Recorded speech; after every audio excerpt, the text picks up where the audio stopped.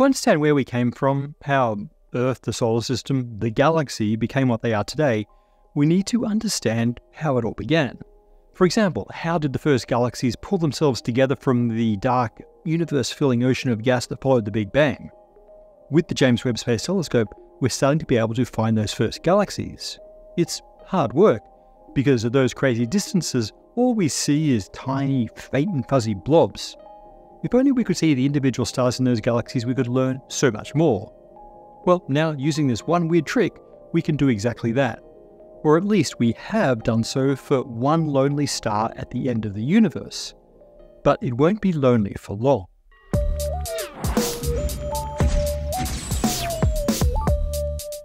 A top contender for the most distant star we can see with the naked eye is a huge variable star in the constellation Cassiopeia. It's 16,000 light years away, so just a fraction of the distance across the Milky Way. Stars more distant blend together into the unresolved milky blur that gives our galaxy its name. We can pick out those more distant stars with telescopes, but it was only a bit over a century ago that our telescopes got good enough to pick out the brightest individual stars from our nearest sizable neighbouring galaxy, Andromeda. As our telescopes improved, we were able to resolve those individual pinpricks of light to greater and greater distances. But it feels like there's a fundamental limit. Our telescopes can only get so big, and they can only stare for so long.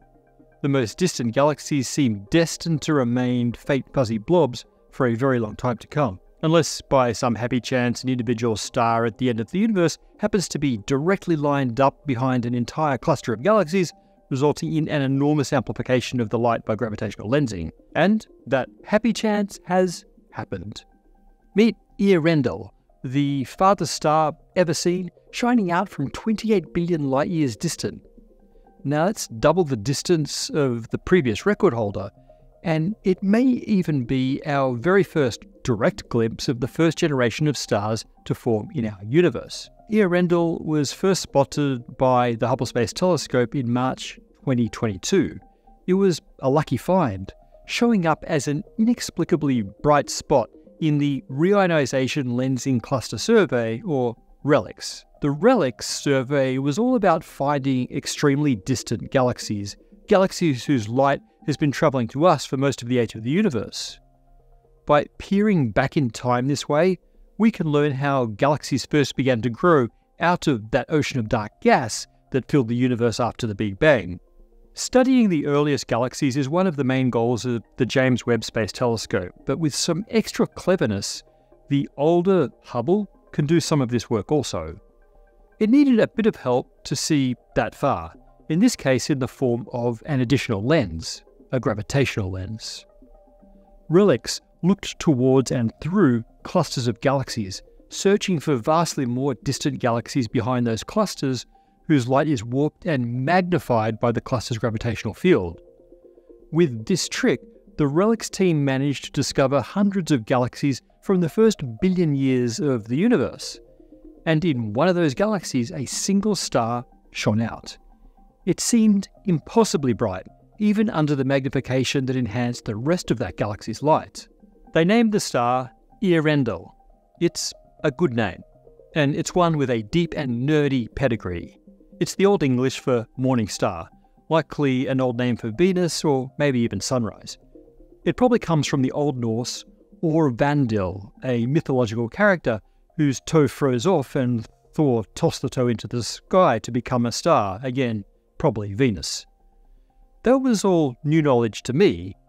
I knew the name in the alternate spelling Eärendil, a name borrowed by Tolkien for a character in his Silmarillion. You know, the half-elven Eärendil the Mariner, father of Elrond and Elros, who wears one of the Silmarils on his brow as he sails the sky, and that's Tolkien's Venus creation story.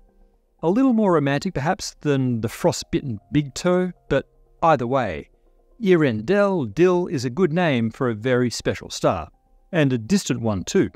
Earendel is 28 billion light years away. Now, astronomers don't usually talk about light years when the numbers for distance get so large. For such distant objects, we just refer to the redshift. Because the universe is expanding, a photon traveling between galaxies gets stretched, its wavelength increases.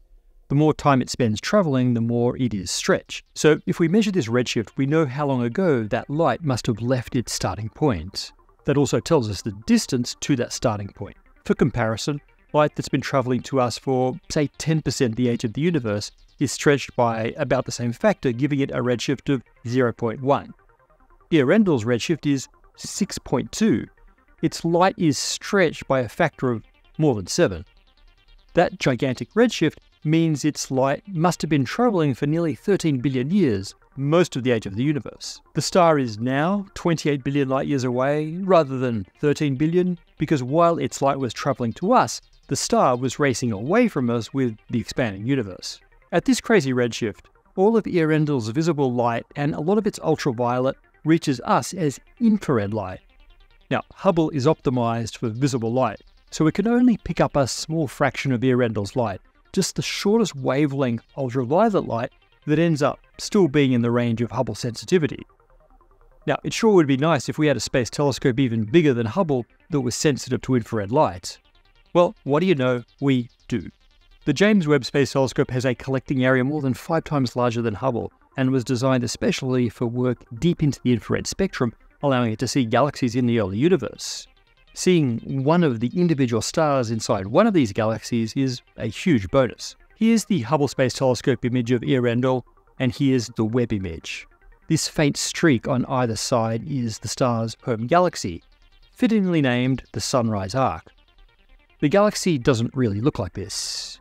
It would be a much more compact bundle of billions of stars, but its light has been smeared across the sky by the vast gravitational field of this cluster of galaxies that you can see in the foreground. Smeared and amplified, and the amplification is why the RELICS program looked at this thing in the first place. Gravitational lensing is really an incredible tool. It lets us see much further than we otherwise could. Let's do a quick review of how this works. In gravitational lensing, rays of light from a distant object that would normally not reach our telescope are deflected towards us by an intervening gravitational field. In the case of so called weak lensing, this just leads to a distortion of the image, like looking through rippled water. But if the alignment of the lens and the source is just right, then many light rays that would otherwise have travelled in very different directions are deflected towards us. This is so called strong lensing. In the case of a lens with perfect circular symmetry and a perfect alignment of us, the lens, and the source, rays travelling in all different directions reach us, now, the warped image looks like a perfect ring around the lens, what we call an Einstein ring. We do see Einstein rings, but they're rare. Normally, the alignment isn't quite perfect and the lens isn't symmetric enough. Break either of those and the ring fragments, for example, into multiple images for very compact sources, or multiple arcs for extended sources. Individual lensed images are also magnified, just like a glass lens can bend diverging rays of light back towards each other to focus, thereby increasing brightness, a gravitational lens can do the same. For a glass lens, the magnification is the greatest if the light source is at the focal point relative to your eye. Then all diverging light rays are sent straight to your pupil. Gravitational lenses are messier. Instead of a focal point, you'll have a focal curve called a caustic. They'll be in this star-like structure for a typical lensing configuration with a relatively simple gravitational field. You see similar shapes when you shine light through the stem of a wine glass or through rippled water. The caustic curve represents boundaries in the plane of the source. When the source crosses those boundaries, new images appear or vanish. As the source approaches a caustic curve, multiple images can come together and overlap as they merge, leading to a large increase in the amplification of its brightness. And that's exactly what happened with Earendel. In this case, it's very near the caustic curve produced by one of the galaxies in this cluster. The rest of Earendel's home galaxy spans an extent far beyond this particular caustic, and is actually being magnified and smeared by the gravitational field of the entire cluster to a much lesser degree than Earendel is. But this star, with its happy position, experiences magnification of at least a factor of 1,000, and it could be up to a factor of 40,000. At the lower limit, we're gaining a light collecting power of a telescope 30 times larger in diameter. On the other side of Earendel, You can also see one of the lensed images of a nearby cluster of stars in the same galaxy.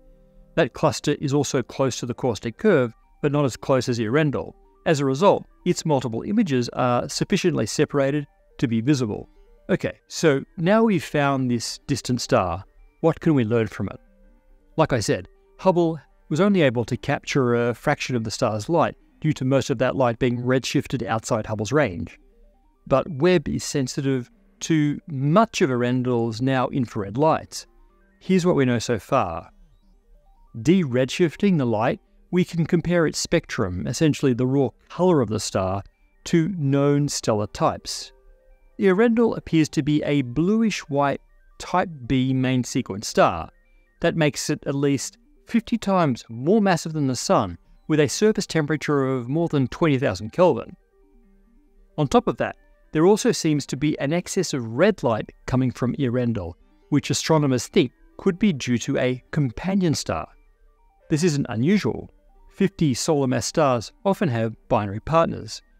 But the mixing of the light from the two stars combined with the uncertain magnification makes it difficult to say exactly how massive and luminous each star is.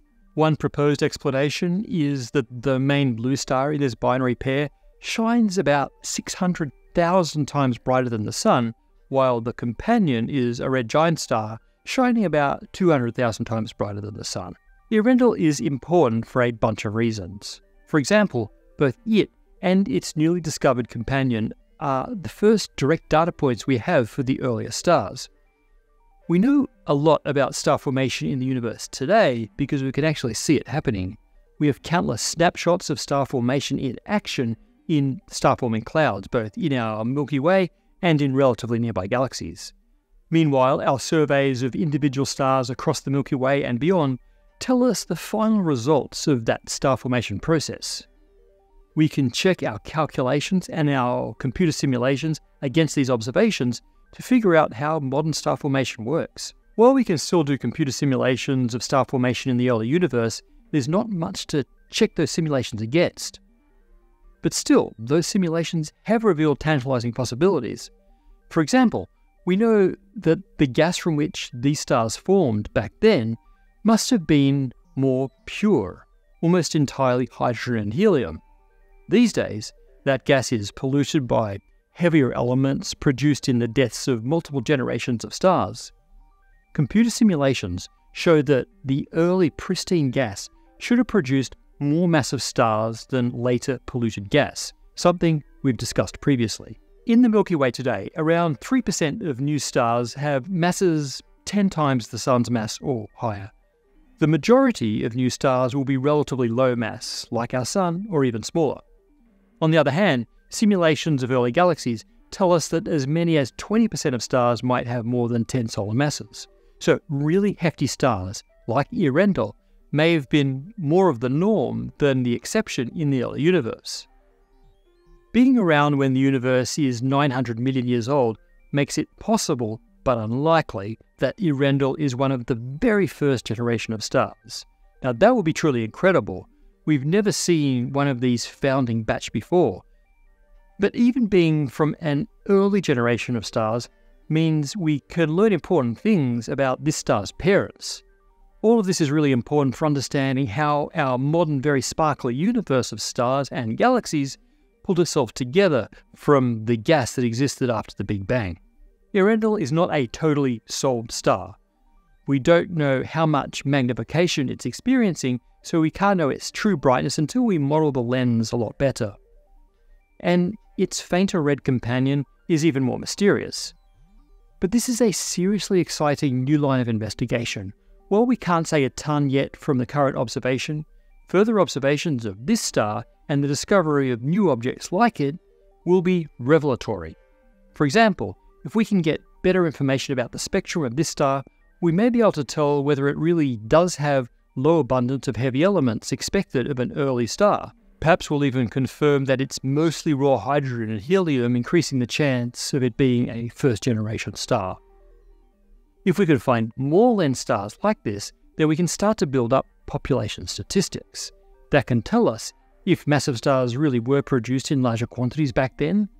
The specifics of the resulting population could tell us a ton about star formation in the early universe.